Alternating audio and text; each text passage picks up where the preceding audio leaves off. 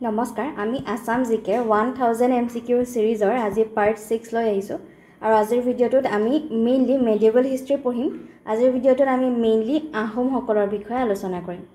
ইতিমধ্যে আমাৰ পাঁচটা পাৰ্ট আপলোড কৰা হৈ গৈছে যদিহে আপোনালোকে চোৱা নাই এবাৰ চাই ল'ব পাৰিব। পলম নকৰি প্ৰথম প্ৰশ্নটো চাই লওঁ আহক। What was the third ministerial post created by চুহুংমুং চুহুংমুঙে সৃষ্টি কৰা তৃতীয় মন্ত্ৰিত্ব পদটো কি আছিল? অপশ্যনসমূহ চাই ল'ব। আগৰ ভিডিঅ'টোত আমি পাইছিলোঁ যে চুকাফাৰ দিনত প্ৰথম দুটা মিনিষ্টেৰিয়েল পষ্ট সৃষ্টি কৰা হৈছিল। সেয়া হৈছিলে বৰগোহাঁই বৰগোহাঁই আৰু বুঢ়াগোহাঁই। সেয়া আছিল দুটা। তাৰ তৃতীয়টো মন্ত্ৰিত পদ আছিল তৃতীয়টো মন্ত্ৰিত পদ আছিল Borpatra Gohain. Option number A is the correct answer পাছৰ প্ৰশ্নটো চাব দুশ বিছ which Ahom king rebuild the Nag Shankar temple কোনজন আহোম ৰজাই নাগ শংকৰ মন্দিৰ পুনৰ নিৰ্মাণ কৰিছিল অপশ্যনসমূহ চাই ল'ব। আৰু ইয়াৰ কাৰেক্ট আনচাৰটো হ'ব option number C Susenpha. Susenpha হ'ব ইয়াৰ শুদ্ধ উত্তৰ। আৰু নাগ শংকৰ মন্দিৰ ব্ৰহ্মপুত্ৰ নদীৰ ব্ৰহ্মপুত্ৰ নদীৰ নৰ্দাৰ্ণ বেংকত নৰ্দাৰ্ণ বেংকত পুনৰ নিৰ্মাণ কৰা হৈছিল পাছৰ প্ৰশ্নটো। Which Ahom king establish his capital at Bakata near Dihing Dihing নদীৰ পাৰৰ বকতাত ৰাজধানী পতা আহোম ৰজাজন কোন? অপশ্যনসমূহ দিয়া থাকিব আৰু মই লগে লগে আনচাৰ কৈ যাম। আপোনালোকে প্ৰথমতে ট্ৰাই কৰিব। আৰু ইয়াৰ কাৰেক্ট আনচাৰটো হৈছে বকতাত ৰাজধানী পাতিছিল চুহুংমুঙে। অপশ্যন নম্বৰ চিটো কাৰেক্ট আনচাৰ হ'ব। পাছৰ প্ৰশ্নটো। Which of the following name was taken by চুহুংমুং after he became king চুহুংমুঙে ৰজা হোৱাৰ পাছত তলৰ কোনটো নাম গ্ৰহণ কৰিছিল? তেখেতে নতুন এটা নাম লৈছিল আৰু সেই নাম নামটো হৈছে স্বৰ্গ নাৰায়ণ অপশ্যন নম্বৰ বি হ'ব স্বৰ্গ নাৰায়ণ পাছৰ প্ৰশ্নটো। Tyao Khamti was the father of which famous Ahom ruler Tyao Khamti কোনজন বিখ্যাত আহোম শাসকৰ পিতৃ আছিল? অপশ্যনসমূহ চাই লওক। তেওঁ খামটিৰ বিষয়ে আমি আগৰ ভিডিঅ'টো ডিছকাছ কৰিছোঁ। আৰু ইয়াৰ কাৰেক্ট আনচাৰটো হ'ব he was the father of Sudangpha option number A is the correct answer আৰু চুডাংফা কি বুলি কোৱা হয় আমি আগতে পাইছোঁ তেখেতক কি বুলি কোৱা হয়? বামুণী কোঁৱৰ বুলি কোৱা হয়। বামুণী কোঁৱৰ বুলি কোৱা হয় কাৰণ তেওঁ এজ এঘৰ ব্ৰাহ্মণ এঘৰত ডাঙৰ দীঘল হৈছিল পাছৰ প্ৰশ্নটো। Konsheng the first Borpatra Gohain was better known as প্ৰথমজন বৰপাত্ৰ গোহাঁই কনচেং কি নামেৰে জনাজাত অপশ্যন চাই ল'ব। আমি পালোঁ যে তৃতীয়টো মন্ত্ৰিত পদ হৈছিল বৰপাত্ৰ গোহাঁই আৰু প্ৰথমজন বৰপাত্ৰ গোহাঁই হৈছে কনচেং বৰপাত্ৰ গোহাঁই। এই নামটো মনত ৰাখিব। আৰু তেখেতক চেংলুং নামেৰে জনা গৈছিল। চেংলুং তেখেতৰ নামটো চেংলুং আছিল। পিছত যেতিয়া তেখেতৰ বৰপাত্ৰ গোহাঁই পদবী দিয়া হৈছিল তেতিয়া নামটো কনচেং বুলি নামাকৰণ কৰা হৈছিল। পাছৰ প্ৰশ্নটো চাব। How is the first Borpatra Gohain related to চুহুংমুং প্ৰথম বৰপাত্ৰ গোহাঁই চুহুংমুঙৰ সৈতে কেনেকৈ সম্পৰ্কিত? অপশ্যনসমূহ চাই লওঁ। আৰু ইয়াৰ কাৰেক্ট আনচাৰটো হৈছে প্ৰথম বৰপাত্ৰ গোহাঁই কনচেং বৰপাত্ৰ গোহাঁই হৈছে চুহুংমুঙৰ step brother. Option number D step ব্ৰাদাৰটো correct answer হয়। পাছৰ প্ৰশ্নটো in which year Turbak Khan invaded the Ahom kingdom during Suhungmung's rule? চুহুংমুঙৰ শাসনকালত তুৰ্বক খানে কিমান চনত আহোম সাম্ৰাজ্য আক্ৰমণ কৰিছিল? অপশ্যনসমূহ পঢ়ি চাব। তুৰ্বক খানে আহোম সাম্ৰাজ্য আক্ৰমণ কৰাটো এইটো আহোম কিংডমত ছেকেণ্ড ছেকেণ্ড মহম্মদ ইনভেজন আছিল। এইটো ছেকেণ্ড মহম্মদ ইনভেজন আছিল। ফাৰ্ষ্ট ইনভেজনটো চুহুংমুঙৰ দিনতেই হৈছিল মনত ৰাখিব।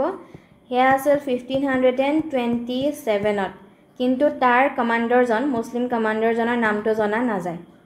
আৰু তেওঁ গ্ৰেট ৱাজিৰ গ্ৰেট ৱাজিৰ বা মই ইয়াত লিখিয়ে দিছোঁ গ্ৰেট ৱাজিৰ বা বাৰ উজিৰ বুলি জনা যায় কিন্তু নামটো তেখেতৰ পোৱা নাযায়। গতিকে প্ৰথম ইনভেজন হৈছে ফিফটিন টুৱেণ্টি ছেভেনত ছেকেণ্ড হৈছিল ফিফটিন থাৰ্টি টুত কাৰ ৰাজত্ব কালত চুহুমুঙৰ ৰাজত্ব কালত এইটো মনত ৰাখিব। পাছৰ প্ৰশ্নটো which Ahom king was known for starting the first census of Assam অসমৰ প্ৰথম লোকপিয়ল কোনজন আহোম ৰজাই আৰম্ভ কৰিছিল? অপশ্যনসমূহ চাই লওক আৰু এইখিনিতে আপোনালোকক মক টেষ্টৰ মক টেষ্টৰ বিষয়ে কৈ লওঁ। ফ্ৰী মক টেষ্ট আমাৰ প্ৰভাইড কৰা হৈছে টেলিগ্ৰাম চেনেলত আপোনালোকে যদিহে বিচাৰে আপোনালোকে প্ৰায় কমেণ্ট কৰি জনাই থাকে পি ডি এফ লাগে বুলি কিন্তু আমি মক টেষ্টৰ যিহেতু ব্যৱস্থা কৰিছোঁ গতিকে আপোনালোকে যদি বিচাৰে ডেছক্ৰিপশ্যনৰ লিংক দিয়া থাকিব এবাৰ চাই ল'ব পাৰিব। চ' ইয়াৰ কাৰেক্ট আনচাৰটো হৈছে প্ৰথম লোকপিয়ল আৰম্ভ কৰিছিল চহুংমুঙে option number A is the correct answer পাছৰ প্ৰশ্নটো পঢ়ি চাব। The brief Ahom general Phrasengmung was appointed as the first ডেছ সাহসী আহোম সেনাপতিৰ ফ্ৰাচেংমুঙক প্ৰথমজন ডেছ পদত নিয়োগ কৰা হৈছিল। কি পদত নিয়োগ কৰা হৈছিল? এবাৰ চাই লওক। আৰু শুদ্ধ উত্তৰটো মই কৈ দিছোঁ। কাৰেক্ট এনচাৰটো হ'ব। চদিয়া খোৱা গোহাঁই পদত তেখেতক নিযুক্তি দিয়া হৈছিল। পাছৰ প্ৰশ্নটো। হু ৱাজ মোলা গাভৰু। মোলা গাভৰু কোন আছিল? অপশ্যনসমূহ চাই লওঁ। মোলা গাভৰু কোন আছিল? অপশ্যন ওৱানত দিছে wife of Rasengmung wife of চুহুংমুং wife of Rajeswar সিংহ আৰু দতৰা বতনু Buragohain. Correct answer is wife of Rasengmung ফ্ৰাচেংমুঙৰ পত্নী আছিল মোলা গাভৰু। পাছৰ প্ৰশ্নটো Mula Gabharu the brave wife of Phrasengmung died fighting against ফ্ৰাচেংমুঙৰ সাহসী পত্নী মোলা গাভৰুৱে কাৰ সৈতে যুদ্ধ কৰি মৃত্যুবৰণ কৰিছিল? অপশ্যনসমূহ চাই লওক আৰু কাৰেক্ট এনচাৰটো হ'ব। তেওঁ তুৰ্বক খানৰ সৈতে যুদ্ধ কৰি তুৰ্বক খানৰ সৈন্যৰ সৈতে যুদ্ধ কৰি মৃত্যুবৰণ কৰিছিল। এবাৰ আপোনালোকে এটা পইণ্ট মনত ৰাখি ল'ব যে এই যুদ্ধত তেখেতৰ মোলা গাভৰুৰ পতি তেখেতৰ ফ্ৰাচেংমুং ফ্ৰাচেংমুঙৰ মৃত্যু হৈছিল। ফ্ৰাচেংমুঙৰ মৃত্যু হোৱাৰ পাছত যেতিয়া মোলা গাভৰুৱে তেওঁৰ মৃত্যুৰ বাতৰি পালে বাতৰি পাই তেখেতে যুদ্ধত শত্ৰুপক্ষৰ সৈতে যুঁজিবলৈ যুঁজিবলৈ তেওঁ নিজে আগবাঢ়ি গৈছিল আৰু সেই যুঁজত যুঁজ দি মৃত্যুবৰণ কৰিছিল। আৰু যুদ্ধত তুৰ্বক খানত এই তুৰ্বক খানত বন্দী কৰা হৈছিল আহোম সৈন্যৰ দ্বাৰা। পাছৰ প্ৰশ্নটো।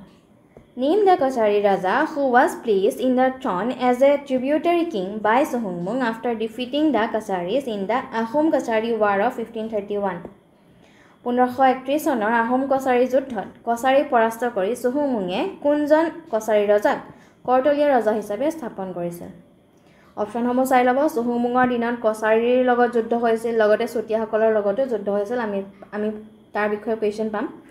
আৰু মনত ৰাখিব যে প্ৰথমটো ফাৰ্ষ্ট আহোম আৰু কছাৰীসকলৰ মাজত যুদ্ধ হৈছিল পোন্ধৰশ ছাব্বিছত ফিফটিন টুৱেণ্টি ছিক্সত ছেকেণ্ড আহোম আৰু কছাৰীসকলৰ মাজত দ্বিতীয়খন যুদ্ধ হৈছিল ফিফটিন থাৰ্টি ওৱানত এই ফিফটিন থাৰ্টি ওৱান চনৰ বিষয়ে এতিয়া সুধিছে প্ৰশ্নটো।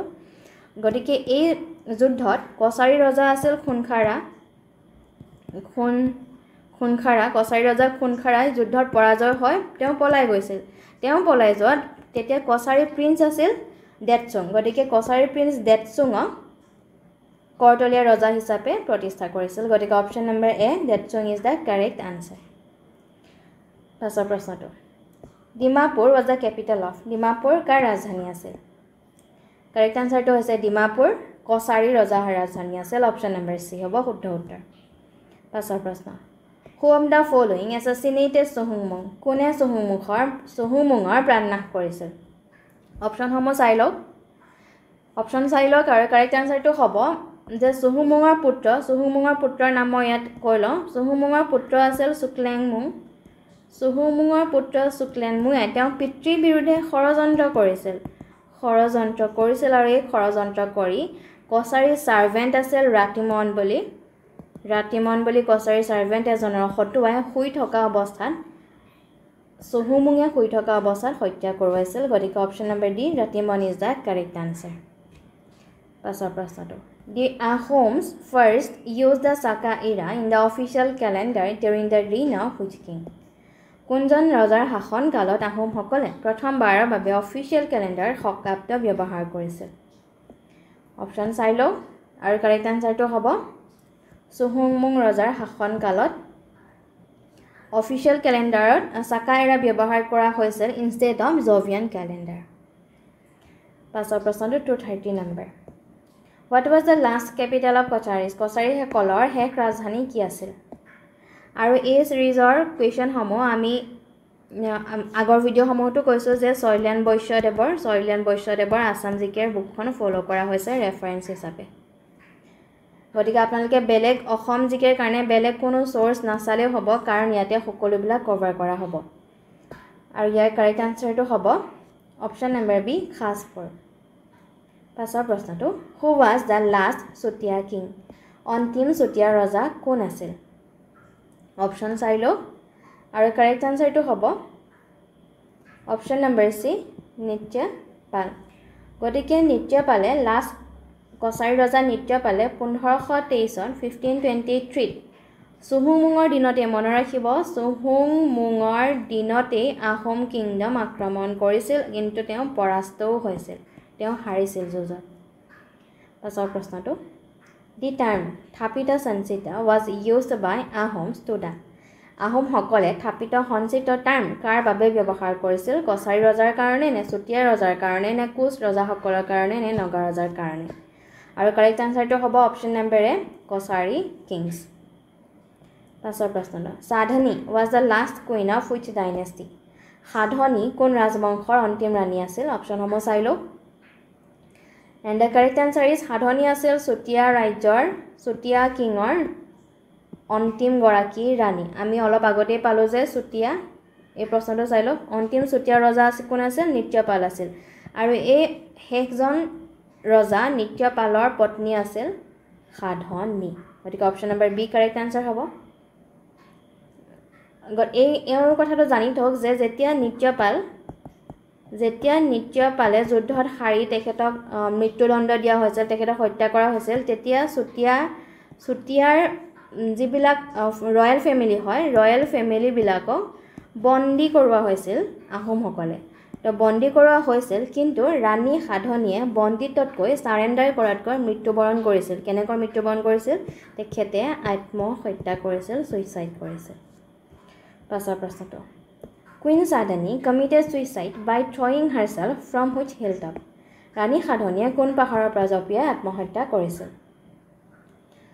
আৰু কাৰেক্ট আনচাৰটো হ'ব option number D Chandangiri hill option number ডিটো কাৰেক্ট আনচাৰ হ'ব।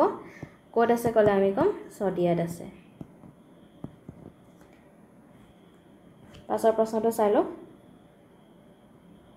the use of fire arm started since the time of which Ahom ruler কোনজন আহোম শাসকৰ সময়ত সময়ত আগ্নেয়াস্ত্ৰ আগ্নেয়াস্ত্ৰ ব্যৱহাৰ কৰা হৈছিল? কোনজন আহোম শাসকৰ সময়ত প্ৰথমবাৰ আগ্নেয়া আগ্নেয়াস্ত্ৰ ব্যৱহাৰ কৰা হৈছিল? ফায়াৰ আৰ্ম ব্যৱহাৰ কৰা হৈছিল। অপশ্যনসমূহ চাই লওক আৰু কাৰেক্ট আনচাৰটো হ'ব চহুং মুঙৰ শাসনকালৰ সময়ৰে পৰা। আৰু এই আগ্নেয়াস্ত্ৰ মুছলিমসকলৰ মুছলিম আক্ৰমণকাৰীৰ বাবে ব্যৱহাৰ কৰা হৈছিল। আৰু এইটো ইম্পৰ্টেণ্ট প্ৰশ্ন চাই ল'ব যে কাৰ দিনত? চহুমুঙৰ দিনত। চহুমুঙৰ দিনত মনত ৰাখিব। পাছৰ প্ৰশ্নটো।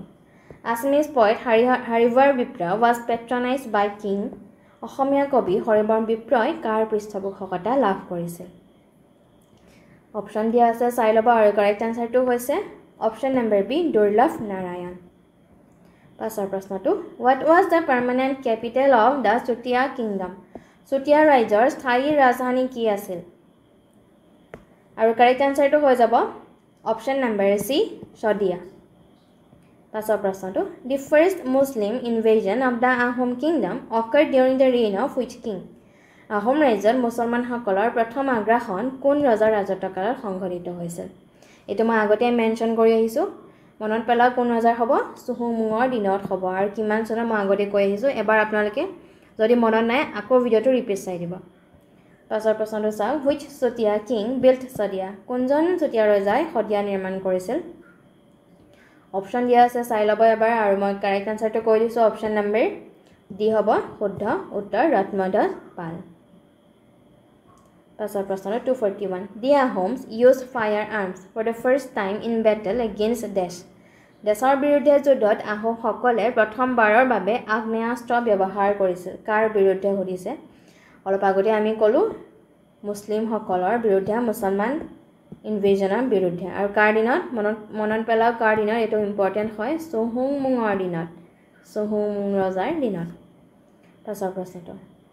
After which war the Chutia kingdom was a next to the Ahom territory কোন যুদ্ধৰ পাছত চুতীয়া ৰাজ্য আহোম ভূখণ্ডৰ লগত সংযুক্ত হ'ল? কাৰেক্ট আনচাৰটো অপশ্যনসমূহ চাই ল'ব আৰু কাৰেক্ট আনচাৰটো হৈছে the battle of Mathodang option number B পাছৰ প্ৰশ্নটো what was the usual shape of Koch coins Koch মুদ্ৰাৰ সাধাৰণ আকৃতি কি আছিল? ঘূৰণীয়া ডিম্বাকাৰ সৰবজ আৰু স্কোৱায়াৰ এইটো ইম্পৰ্টেণ্ট প্ৰশ্ন হয়। আপোনালোকে প্ৰিভিয়াছ ইয়েৰৰ কুৱেশ্যন পেপাৰত হয়তো পাইছে এই প্ৰশ্নটো অহা দেখা যায়। And the correct answer is option number A round বা ঘূৰণীয়া। পাছৰ প্ৰশ্নটো। Who was the king who set up the capital at Garhgaon কোন ৰজাই গড়গাঁৱত ৰাজধানী পাতিছিল? অপশ্যনসমূহ চাই লওক। আমি এতিয়ালৈকে যিসকল ৰজাৰ নাম পালোঁ তেওঁলোকে নিজৰ নিজৰ ৰাজধানী বেলেগ বেলেগ ঠাইত স্থাপন কৰিছিল পাই আহিছোঁ। গতিকে গড়গাঁৱত ৰাজধানী কোনে পাতিছিল? অপশ্যন নম্বৰ চি শুক্লেন মুঙে পাতিছিল। Option number C Suklenmung হ'ব শুদ্ধ উত্তৰ। আৰু তেখেত কোন? তেখেত হৈছে চুহুং মুঙৰ পুত্ৰ চুহুং মুঙৰ পুত্ৰ আৰু আকৌ এবাৰ ৰিভিজন কৰক যে এই শুক্লেন মুঙেই নিজৰ পিতৃক ষড়যন্ত্ৰ কৰি হত্যা কৰোৱাইছিল। পাছৰ প্ৰশ্নটো হ'ব two forty five which Ahom king was called as Gargayan ৰজা। কোনজন আহোম ৰজা গড়গঞা ৰজা বুলিও কোৱা হৈছিল? আৰু এইটো হৈছে আমাৰ আজিৰ ভিডিঅ'টোৰ একেবাৰে লাষ্টৰটো কুৱেশ্যন। আপোনালোকে নিশ্চয়কৈ এই ছিৰিজৰ পৰা উপকৃত হৈছে আৰু যদিহে ভাল পাইছে লাইক এটা কৰি দিব। আকৌ পুনৰবাৰ মই আপোনালোকৰ মক টেষ্টৰ বিষয়ে কৈ দিওঁ যে মক টেষ্ট আপোনালোকে ফ্ৰীকৈ এটেম্প্ট কৰিব পাৰিব। কাৰণ পি ডি এফতকৈ মক টেষ্ট যথেষ্ট আপোনালোকে লাভৱান হ'ব মক টেষ্টৰ পৰা। কাৰণ আপোনালোকে মক টেষ্টৰ জৰিয়তে কিমান কি কুৱেশ্যন পাৰিছে নোৱাৰিছে নিজে নিজে লগে লগে গম পাই যাব। আৰু অকল এবাৰ নহয় আপোনালোকে বাৰে বাৰে এটেম্প্ট কৰিব পাৰিব। আৰু ইয়াৰ কাৰেক্ট আনচাৰটো হৈছে গড়গঞা ৰজা বুলি কোৱা হয় শুক্লেন মুঙা কাৰণ এতিয়াই পালোঁ আমি কাৰণ তেখেতে গড়গাঁৱত ৰাজধানী পাতিছিল। গতিকে আজিৰ ভিডিঅ'টো আছিল ইমানেই। ধন্যবাদ।